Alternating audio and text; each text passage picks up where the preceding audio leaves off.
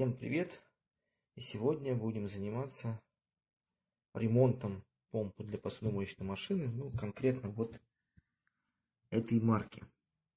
Ну, точнее не этой помпы, у меня на машинке опять сломалась помпа, это просто я уже а, менял на новую где-то года полтора-два назад. А тут вот я уже скрывал, поломал, был у меня не очень хороший опыт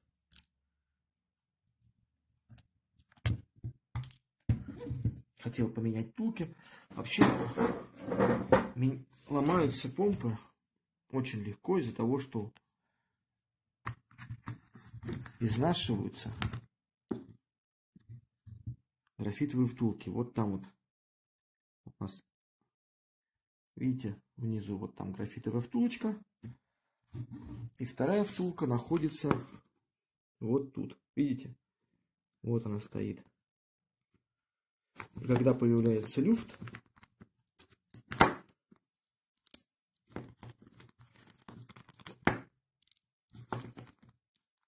вот видите люфт. На новой машине этого нет, а на старой появился люфт. То помпа перестает работать. По-разному все снимали. А, смысл в том, что вот так стоит у нас кольцо. И вот эта пластмассовая штука внутри фиксируется вот такой вот таким фиксатором. То есть вытащить ее отсюда нельзя, чтобы ее поменять. Многие там пробовали здесь открыть. А,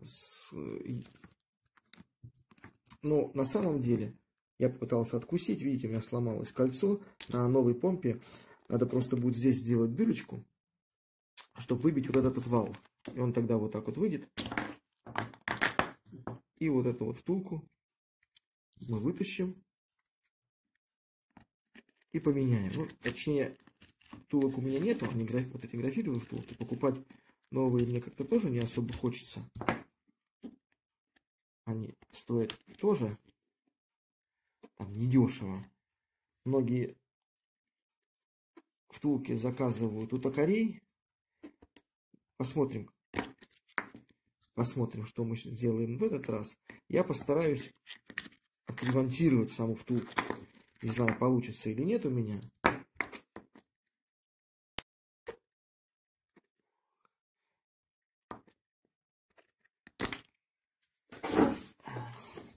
Вот, видите, такая втулка графитовая.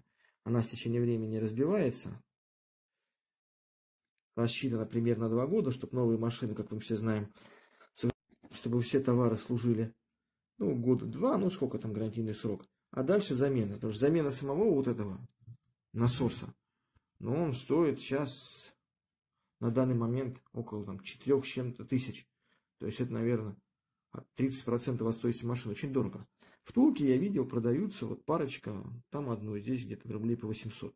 Но посмотрим. Сначала попробуем втулку отремонтировать. Видите, да? У нее люфт. Что я хочу сделать? Я хочу а, в, в эту втулку забить холодную сварку, на вал намазать масло и одеть, чтобы холодная сварка схватилась и повторила диаметр только по валу. То есть с холодной сварки. Ну, это, в принципе, тоже у нас какой-то полимерный материал. Посмотрим, сколько он будет ходить. Ну, посмотрим, в общем, сколько он будет делать. Для начала нам надо будет снять. Сейчас сниму другую. Другой насос машинки, который сейчас сломался. И постараюсь учесть свои ошибки. Вот я даже не выбросил, когда сделал год назад. Сломал, чтобы, как говорится, использовать его в виде э, тренировочного блока. Ну, тем более, вот это вот часть она никуда не девается, там втулка как стоит. Ее постараемся достать. Не знаю, будем, не будем, посмотрим, короче. Запасная часть не помешает, тем более она вот этот меняется. Вот это вот блок, он, он меняется. Отдель, а этот рабочий, как и оставляется, так и есть. Марка у него, мы все знаем. Вот. Конкретно у меня висит машина, это Оскол М233. Они все типовые и у них крепления стандартные. Сейчас будем снимать с посудомоечной машинки полетевший насос. Ну, вот у нас наша помпа. Вот помпа, которая отсюда скручивает им на насос. На слив идет. Так, нам надо, соответственно, вот ее снять. Вот он. Отсюда вот от, насколько я помню, вытаскивается. Так. Надо, если не ошибаюсь, Так. Ага, по-моему, если помню, надо открутить 4 этих болтика. Потом открутить вот этот хомут. Хомут снять и вот этот блок весь вытащить. Он сюда вытаскивается. Вот мы сняли блок. Это у нас тен. Гливательный элемент. Сейчас его снимем. Если помню, по-моему, снимается поворотом.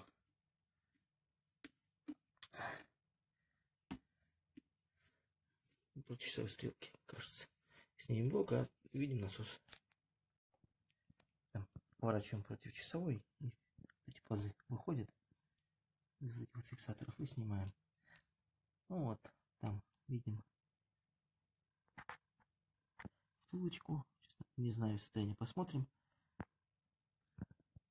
А здесь, как мы видим, вот на втулка. Видите, как люфтит. Люфтить она не должна. Сейчас вытащим. Отсюда промоем и будем дальше заниматься.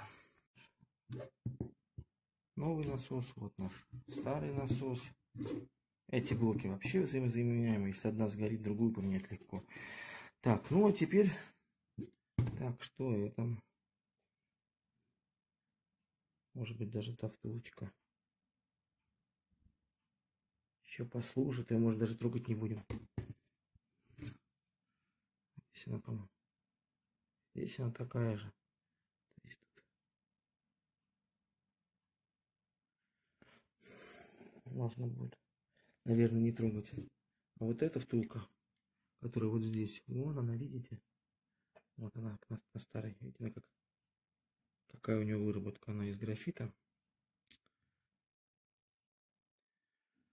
Тут такая же выработка, видите, люфтит как. Поэтому и накрылась. Так, что будем делать? Сейчас я не буду повторять их ошибок, пытаться скусить просверлю здесь дырку по центру и пошире сделаю дырку.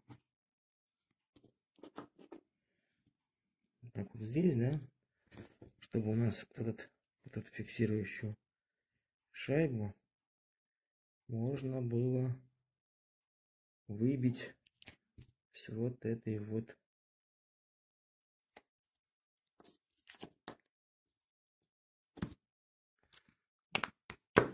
так она стоит. Там пластмасса и фиксируется вот этой вот шайбочкой. То есть сейчас постараюсь это спилить до вот этой вот фиксирующей шайбы. И постараться как-нибудь ее выдавить отсюда туда. Чтобы можно было поменять вот эту. Я даже не знаю, может быть попробую вот эту вот втулку вот эту даже втулку. Думал сначала поставить внутрь, сделать холодную сварку, а потом думаю, может вообще просто холодную сварку здесь заделать. Она затвердеет. И потом просто по диаметру ровно-ровно, аккуратно высверлить по центру. Ну, посмотрим. Сейчас будет видно. Вытащил я резиновую прокладочку. Так, она на втулочке сидит. И фиксируется на тех пазах. Так что я не знаю, попробую. Может быть, действительно вот так вытащу. Все вот туда холодной сварки сделаю полностью. И просверлю по центру отверстия ровно по диаметру вала. и будет выглядеть вот так. Главное, чтобы он не люфтил. Ну, понятно, что начинать буду, наверное, с тонкой дырки, потом аккуратненько напильничком расширивать, чтобы люфта было мало. Ну, посмотрим. Что будем делать, посмотрим. Вот. Сначала я маленьким этим сверлом просверлил, потом побольше, потом вот скальпелем подрезал. Ну, что мы видим? Вот видите, там, если посмотрим, там такая как бы субстанция. Это вот она заполняет вот это вот место здесь. А вот это получается наша вот это вот гаечка. Она в пластике еще. Сейчас я очищу, и нам надо будет аккуратно ее снять. Попробовал я выбить, ну не знаю, не стал я рисковать. Что-то мне как-то не очень нравится. Убивать, прикладывать усилия. Попробуем так снять. Подрезали. И видим вот эту вот шайбочку. Ну, честно говоря, если взбивать, я даже не знаю. Она могла погнуться. Как бы она вышла, может, что-нибудь сломала. Пластмассовая пластик здесь довольно мягкий и хрупкий. Я сейчас, наверное, попробую вот эти вот усики отогнуть. Видите? Выбивал их отогнуть вверх, чтобы можно было вытащить вал. Ну а потом, когда будем ставить, тут многие резьбу накручивают, ставят. Я не буду, я просто здесь залью, наверное, клеевым пистолетом. Посмотрим, чтобы форму придать. Дальше будет видно. Ну, либо тоже холодной сваркой. Вот мы сняли фиксирующую шайбу. Она стоит ребрышками вверх. Аккуратненько снимаем. И теперь можно вытаскивать. Вот, вытащили наш вал. Он такой же, как предыдущий, видите. С ними ничего нет. Ах ты, какой сильный магнит. Между собой они как хватаются.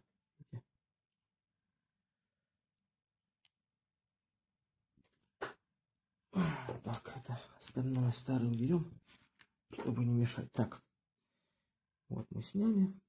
Теперь это можно отложить. Вместе.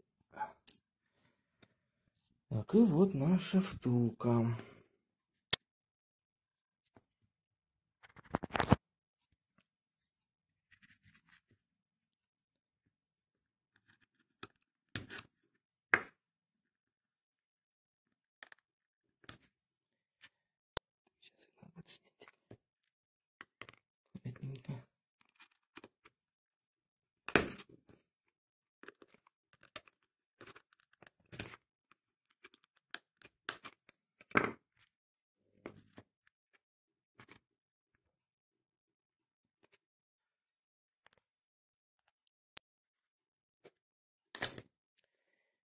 Вот наша втулка.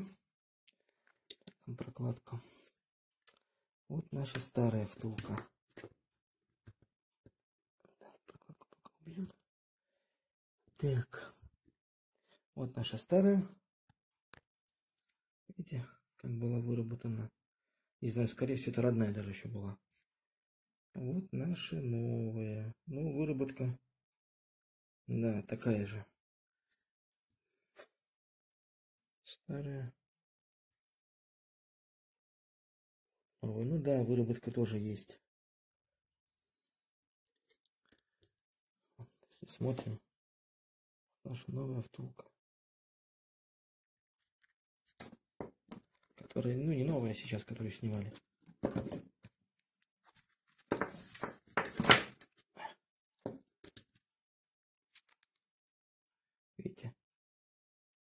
Тоже люфт приличный. Ну, будем делать, что, что я хотел делать. Что мы, в принципе, наверное, будем делать. Не знаю. надо ли оставлять прокладку. Это, по идее, фиксирующий. Фиксатор стулки. Он нам, наверное, не нужен будет. Ну, посмотрим. У нас все равно есть две ответных части. Так, это старая. Вот они у нас эта часть. Первая. Это вот наш сейчас. Они, в принципе, взаимозаменяемые. Так что, если вдруг одну испортим, есть вторая. Даже, может быть, я, наверное, попробую сейчас сделать со старой. Говорится. И поставить старый элемент. Ну, единственное, только вот этот поставится новое. Потому что ту я, как я уже говорил, я сломал. Так, ну что. Хотя они одинаковые, может, поставлю этот. Поставлю просто ответную часть, потому что буду делать, формировать сейчас, а, заливать здесь все полностью холодной сваркой, заделывать. Ну, эпоксидкой не будем. Холодная сварка лучше всего. И потом ровно по центру просверлим отверстие под наш вал. Он теперь затвердеет. И, наверное, когда затвердеет, поставим, посмотрим, как будет работать. Ну, хуже не будет. В крайнем случае, втулки куплю запасные. Отсюда, кстати, вытаскивать, наверное, вытягивать не знаю. Думаю, сейчас дырочку просверлю здесь, выбью. А, кстати, как вариант. Я сейчас вот что попробую. Я сейчас попробую из этого вытащить тулку. Если у нее износ меньше, а они одинаковые, то, может, сейчас поставим просто и все, и не будем экспериментировать. Точнее, сюда сделаю посмотреть, как будет работать с, с холодной сваркой. А сюда поставлю вот эту. Сейчас посмотрю, вытащу ее отсюда, посмотрю. И если будет работать, пока поставим ее и будет работать. В крайнем случае, если не подойдет сваркой, такие втулки продаются, а новую, если даже она с нужным диаметром, не раз а, ширинным. Просто заказать какой-нибудь токарю. Наделать их из пластика твердого и будет работать. Просверлил здесь отверстие. Вытащил втулку. Вот втулка обратной части. Ну, по виду я могу сказать, конечно, выработка есть, но меньше. Ну, вот сравним. Вот она вот старая. Что мы видим? Да? Мы видим, что верхний, видите, как выработка справа вот видно. Паз. У этого нету. Ну, значит, сейчас поставим ее сюда пока временно. Пусть поработает.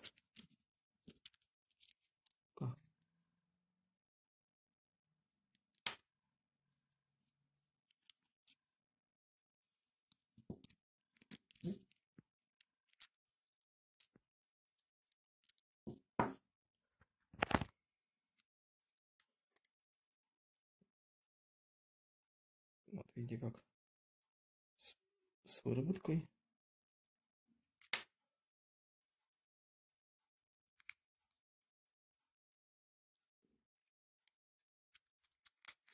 А это обратной части. Ну, есть, конечно, тоже люфтик.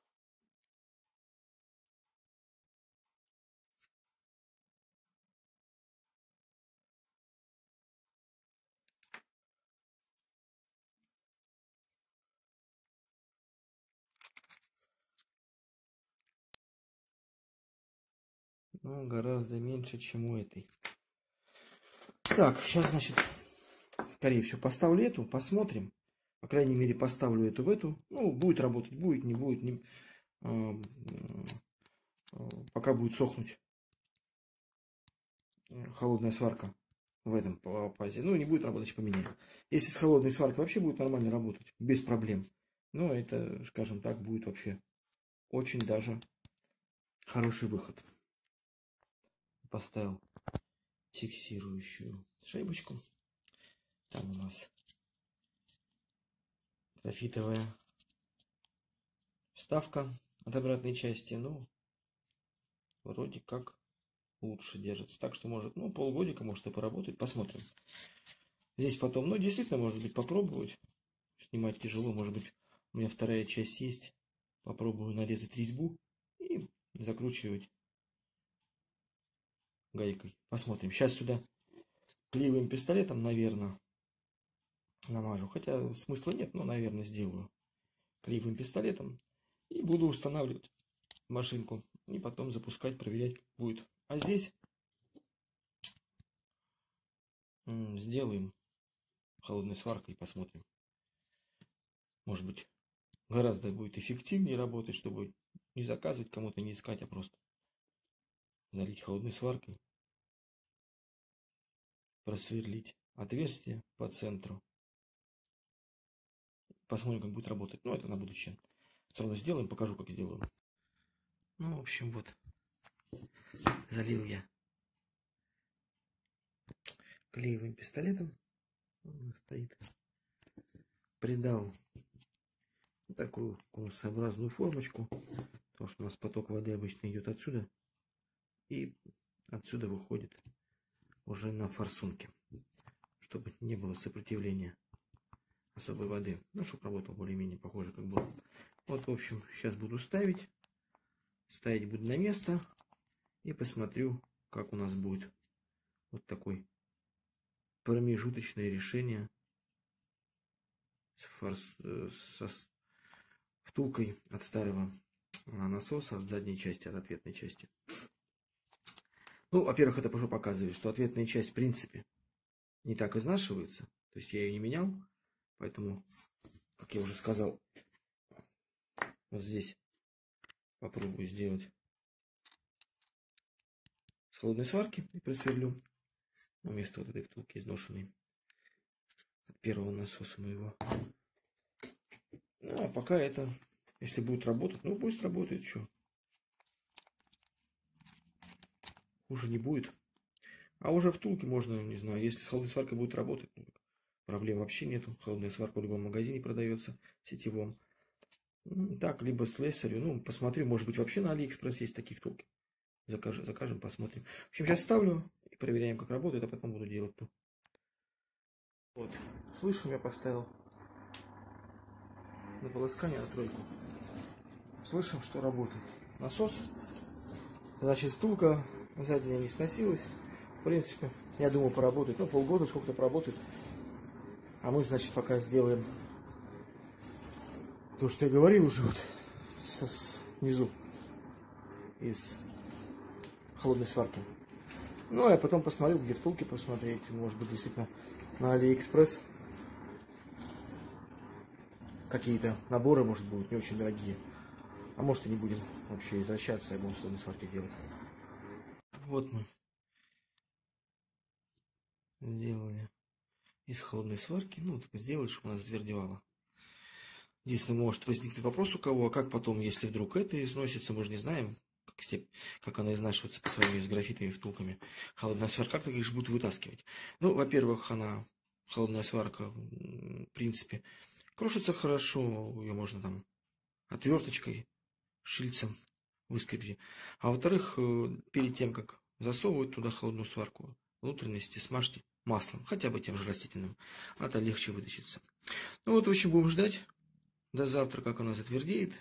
Потом вот по центру выставим отверстие. Под вал. И будем, подождем, пока накроется то, что мы сейчас поставили, и посмотрим уже ради эксперимента вот эту. А сами, конечно, лучше искать втулки. Они есть, продаются по разной цене. Я хочу посмотреть на Алиэкспресс, сколько там будет стоить. Ну, либо заказать какому-нибудь знакомому токарю на заводе, чтобы он выточил из пластика плотного. И будет как расходный материал. В общем, подождем, пока затвердеет. Холодная сварка высверлим. До завтра лучше подождать сутки. Высверлим и Посмотрим, как у нас получится. Вот что у нас получилось. Затвердел. Холодная сварка. Высорил я 5 миллиметров отверстия.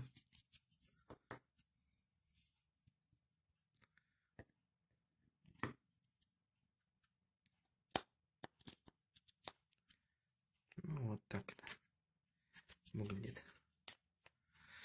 Ну, в общем, посмотрим, как у меня та втулка старая, которую поставил с обратной части. Как выработается, буду пробовать это. Посмотрю, чего, насколько хватит холодной сварки. Вроде как это полимер получается у нас. Я знаю, есть тулки полимерные вытачивают. По крайней мере, говорят, ходят не меньше, чем родные графитовые. Эти. Так что, в принципе, если сточится, и оттуда потом вытащим, там, как я уже говорил, у нас масле должна хорошо выйти, когда сточится. Ну, это как вариант. Кто не знает найти втулки, да и деньги не позволяют.